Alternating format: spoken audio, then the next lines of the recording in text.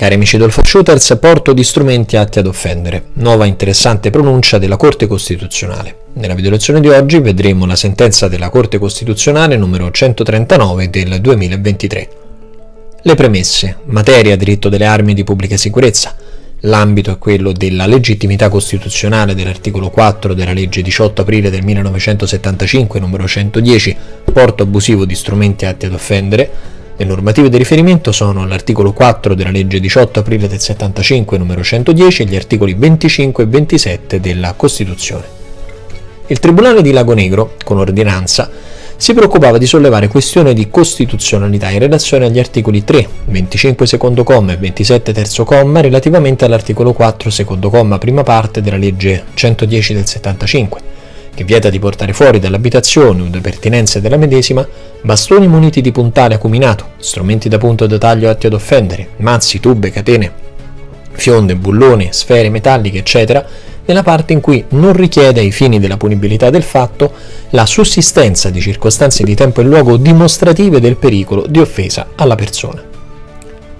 Il giudice a quo premette di essere investito del processo nei confronti di una persona imputata del reato previsto dalla norma censurata, in quanto a seguito di un controllo stradale era stata trovata in possesso di una roncola, qualificata impropriamente nel capo di imputazione come macete, della lunghezza di 40 cm, di cui 10 di manico, strumento da punto da taglio del cui porto l'imputato non aveva fornito adeguata giustificazione.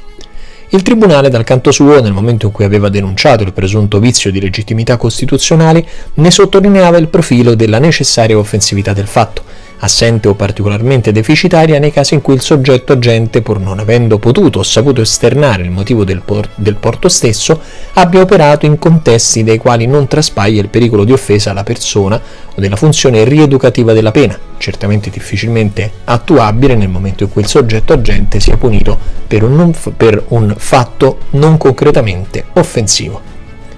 La decisione della Corte Costituzionale. In sostanza, quindi, la Corte Costituzionale ha rigettato la questione sollevata dal Tribunale, sostenendo come nella sostanza si debba considerare come legittimo il dettato normativo dell'articolo 4,2 prima parte della legge 18 aprile del 75 numero 110, ove non prevede quali elementi tipicamente strutturali del reato quella presenza di circostanze di tempo e luogo atte a prefigurare un rischio di uso lesivo nei confronti della collettività tutta.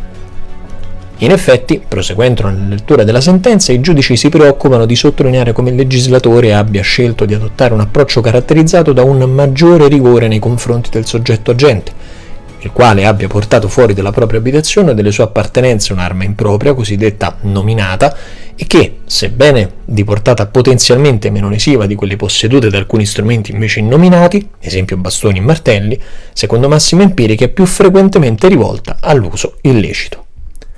La consulta poi fa una differenziazione importante tra la categoria della offensività in astratto ed in concreto. La consulta in tal senso ha ritenuto assolutamente irragionevole applicare l'offensività in astratto, in quanto ritiene in effetti molto pericoloso il fatto che un soggetto possa portare fuori dalla propria abitazione un oggetto atto ad offendere, senza riuscire a giustificarne il motivo. In tal senso quindi si ragiona nell'ottica di un pericolo non già concreto, bensì presunto.